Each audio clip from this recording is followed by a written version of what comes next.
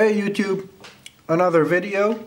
It's been a while since I made a video for my channel, um, been kind of busy with life, but here I am again.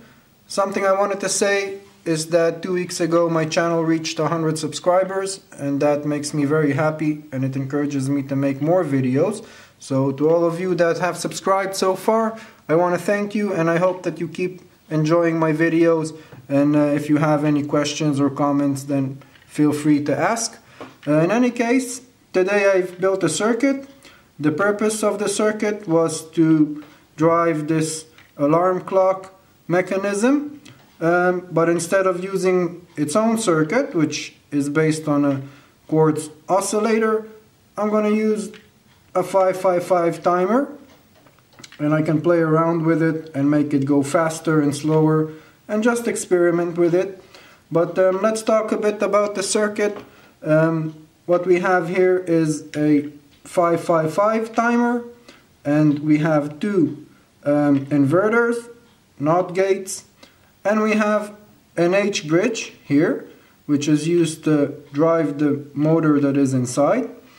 Now if you want to know how to build uh, these circuits then you can watch previous videos that I made.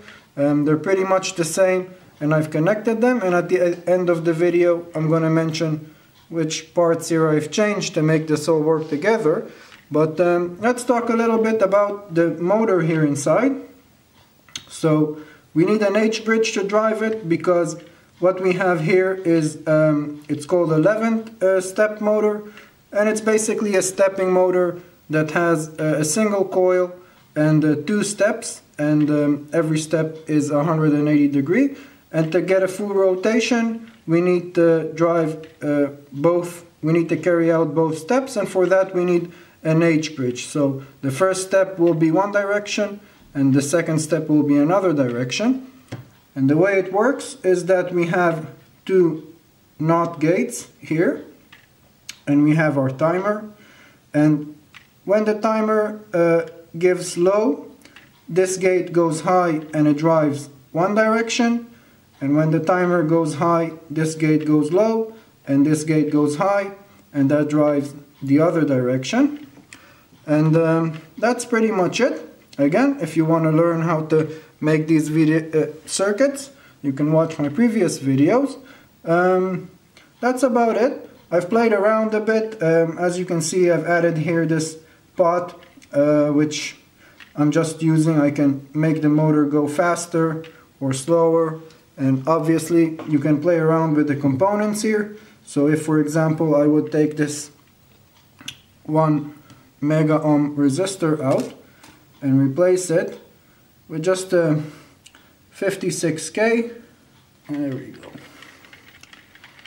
So you can see that already the motor behaves differently because we've changed the pulse frequency. So now we can make it go faster or slower. This motor does have um, a limitation, so you can't really drive it like very fast um, or very slow. Um, you can also change this capacitor here, make it go slower or faster. But in any case, not going too much into that, you can see all that in the timer video. Um, that's it. I hope you liked this video, and um, if you liked it, please subscribe to the channel and I'll make more in the future. Um, just to mention the parts that I've well added to the circuit. So um, here obviously I've used the pot and you can see the difference in the original circuit. But um, here in the H-bridge um, I've used two transistors BC547 or just any NPN um, as switches and these are connected to the gates and that basically drives the, the, the H bridge.